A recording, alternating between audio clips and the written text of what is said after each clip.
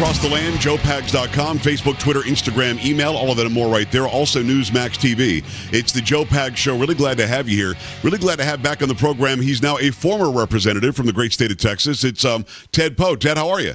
I'm doing great, Joe. Thanks. The last time I saw you were at the Trump International Hotel in Washington, D.C., and we were giving you your farewell party, and I think it was a pretty good surprise. I don't think you expected to see my big head there, did you?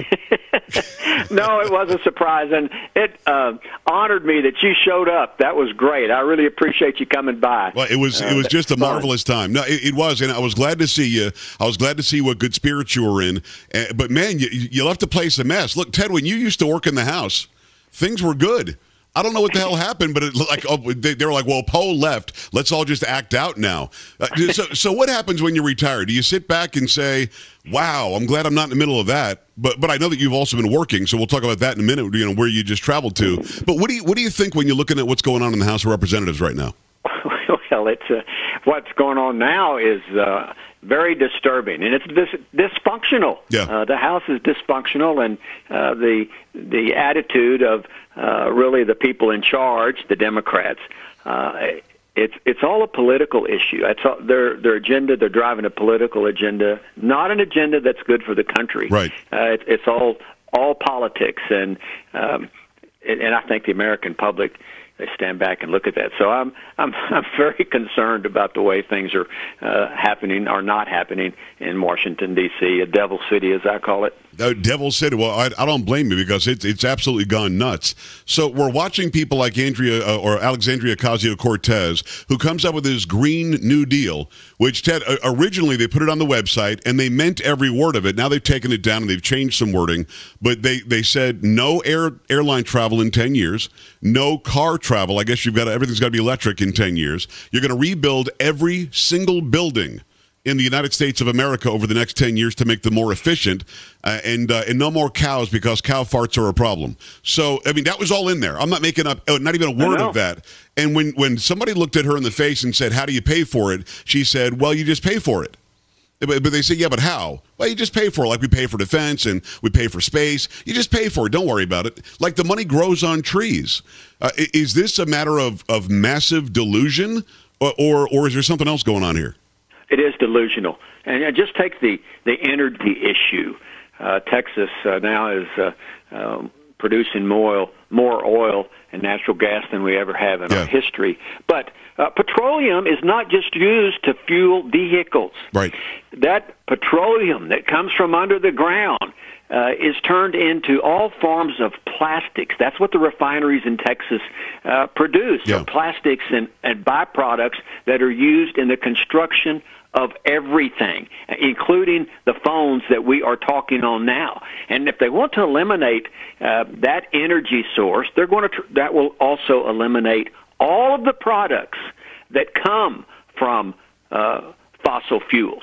Uh, had, there was a group of uh, Princeton students in Washington uh, last year on whatever Green Day is, uh, and they were wearing these green helmets with Yeah. some flowers on them. And I, I asked them, you know where those helmets, uh, those hard hats that you had on, uh, where they came from? And they they they said, well, it's plastic. And I said, yes, you know, plastic is comes from uh, fossil fuels. It comes from energy. Of course, they didn't believe that, you know, and so uh, it, they don't understand They don't. the consequences of this stupid idea they have to do away with the natural resources that the country has. And we're talking about millions and millions of people employed by that industry, too.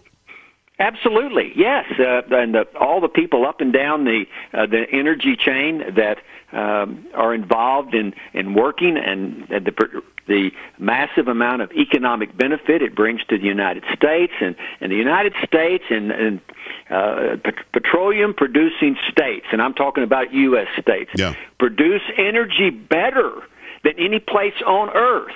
Uh, and to, to take that resource away uh, is just beyond disbelief. And, and by the way, this thing has no chance of passing. But I think that the, the idea here is to continue to indoctrinate the younger generation. And and when when a younger generation person, a millennial, uh, and even after the millennials, are asked about socialism, they have a positive response. Ted, we're just looking at what's happening in Venezuela right now, and socialism has never been successful on planet Earth. How is it they've been so effective? in making people believe it's the right way to go? I think it goes back to the the education system, especially yeah. in our universities. You got professors who all they have done is is teach their whole life, and uh, they they have a, a love affair with socialism and communism, and they teach that to our students and our kids, uh, and they get no other alternative. We don't teach yeah. history in schools anymore about the failures that took place under the Soviet Union, the mass murders of the uh, the intellectuals uh, in. Uh, Soviet Union. I was in the Soviet Union in the 80s. I wish every American could have been there to right. see the contrast between socialism, communism, and freedom. And that's what the difference is. It's a difference in freedom and government control of everything. And as you said, socialism has, has failed throughout the world and throughout history. Right. And the the millennials that support this, they well, we we think that that we can be different. We'll make it work. well, what's country. interesting is they put the word democratic in front of socialism, like that means something. It doesn't. That doesn't change anything. If you, there is no such thing as democratic socialism. It's actually a misnomer. But if you put that there, they're saying, well, we just want the Sweden socialism and not the Venezuela socialism. Ted, you and I both know Sweden rejected socialism and most of, of the mechanisms of socialism years ago. In fact, they tax lower income people higher than they tax high income people because it actually is a way to get people to go and try to get better paying jobs. And, and, and owning uh, industries by the state, that didn't work there either. Private, the they're privately owned businesses again in Sweden, so that's a lie too. Absolutely. You know, they're uh, it's it's not only just capitalism that they're uh, they're advocating, doing away with capitalism. Yeah. They're advocating government control of everything yeah. in our life, uh, and those two factors uh, are the uh, the root of socialism, and that's why it has always failed because yeah. people don't want government control of their life, and capitalism actually has worked throughout history. Uh, I was uh, uh, recently in uh, South Korea last week, and here you have a prosperous nation, and then you have across uh, the, the militarized zone North Korea. North Korea, state runs everything communism, socialism, anti capitalism. South Korea, prosperous nation. The contrast couldn't be uh, more stark right. between a free society and a society that is run by the government than the two Koreas. It's such a great example to give, too. It's former Representative Ted Poe, former Judge Ted Poe. The White House just said uh, probably going to go ahead and, de- and, declare an emergency on the border to make up the difference between this budget offer of 1.3 or 1.4 billion and the 5 point whatever billion the president wanted. Uh, Ted, you and I, I think we talked about this before, but if we didn't, let me let me reestablish it. Um, immediately, there's going to be a challenge from the left trying to stop a president from saying this is an emergency situation. I need the money. Um, uh, first question: Do you think that would slow things down and be a logjam now in the courts for the next several years? And and maybe a silly question, maybe a good one. Couldn't a Republican sue the, the administration and maybe take it to the Fifth Circuit Court of Appeals and, and get a, a judge that actually pays attention to the Constitution where this thing could be uh, undone? Any sort of an injunction, you know, question uh, could be undone almost immediately. Why let it go through the Ninth Circuit Court of Appeals where you know they're going to say no? That, that is an uh, excellent idea of filing the lawsuit first. The Republicans filing the lawsuit. Uh, and I think that's what they should do. I do not think, regardless of the outcome, it's going to take several years. Uh, the the president is within his uh, authority that Congress gave him yeah. in 1976. Right. The National Emergencies Act. And Congress did not define what an emergency was. They left it up to whoever was president. Now the Democrats are trying to, you know, change the, what the law means, but it, it didn't Congress didn't have to give the president this authority, but he did, or it did. And there have been 58 uh, national emergencies declared by various presidents since uh, 1976, and we're under still under 31 of those.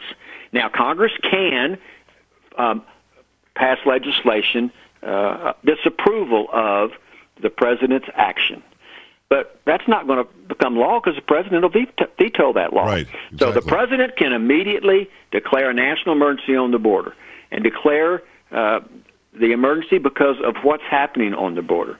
The massive influx of the criminal gangs bringing in narcotics into the United States. The massive explosion of human trafficking coming into the United States, once again sponsored by the criminal gangs and the drug cartels. Right. Those reasons alone are good enough to, I think, declare a national emergency and to keep them out of the United States. I think it would yeah. be upheld on appeal. It would be expedited through the um, the process, be filed in a district court. Uh, uh, an Obama era judge will probably uh, say the president can't do it, and then uh, it'll be appealed to whoever. But I think the Supreme Court, with a motion filed by the U.S. Attorney's Office to yeah. expedite the ruling, uh, would it could all be done in just a matter of, of really uh, months, as far as I'm concerned. Well, I hope that they do that. I, I hope that you know, the Supreme Court gets it, and we can once and for all stop acting like this guy isn't the president. He doesn't have the same authority that, that Obama had. Obama had a pen uh, and, a, and, a, cellular phone, and he went around you guys constantly. It's former Representative Ted Poe. Ted, I'm almost out of time. One quick one. You went to the to the border. Seems like a million times, and over the years since the 20. border, uh, was it 20? Twenty times no, I, while I was well, in Congress. You, you, were there just, just, and you were the hawk, man. You wanted to, to take care of the border and take care of our sovereignty. Um, the El Paso fence slash barrier. I mean, people say fence; they think it's some chain link fence. It's not. It's a really nice, elaborate fence, and it's really nice, elaborate barrier that made a big difference. That was always loved by everybody, whether you're from El Paso or not. Nobody but nobody had any issues with it. Not only does it work, it works well. Our our auto theft is way down. Our crime is way down. I think the president said violent crime, and that's what the legacy media is jumping onto. But it only seems as though President Donald Trump says the wall's a, a, beautiful wall or the, the fence is a beautiful fence in El Paso and it made a real difference. Now everybody seems to say we never liked it. We hate the wall or the fence in El Paso. I mean, that's really what happened, right? Everybody, nobody had a problem until Donald Trump liked it. That's right. That fence was built years ago. And the reason that fence was built was because the constant cross border crime from across the Rio Grande right. River and uh, the the chief of police told me when I was down there that once that fence was built, 18 miles of it, and it's a, more than just one fence. It's it's a moat, a fence, the Rio Grande River, another fence, right. and then a road. Uh, told me once that fence was built that the cross-border crime dropped to almost zero.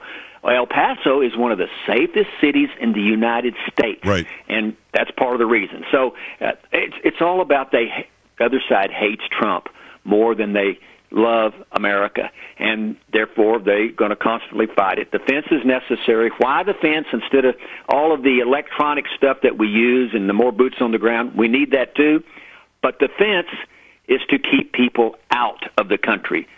The other things that we're using, the, uh, the the drones and the boots on the ground, all of that comes into play after people are in America. Right. So, so, so it's a way to keep them out. To keep them out. Yeah. And what's interesting is uh, O'Rourke the other night was protected by a fence when he was giving his speech. I kid you not, Ted. There was a big ass fence around Beto O'Rourke. So I, I don't, I don't know. Maybe, maybe I'm being Captain Obvious here. Ted, I could talk to you for two hours. Let's do this on a regular basis, could we? Yes, sir. We bet. All right, brother. We appreciate you. Former Representative, uh, District 2 Republican, the great state of Texas. It's Ted Poe. Ted, we'll talk soon. Thank you. Okay. Thank you. Back, Thank you. back after this in the Joe Pag Show. Stay right here. Just watched Newsmax TV, America's fastest growing news channel, now in 65 million homes. Get Newsmax TV on all the major cable systems or go to NewsmaxTV.com and click on the Find Newsmax tab to locate us. Remember, Newsmax TV, where real news for real people.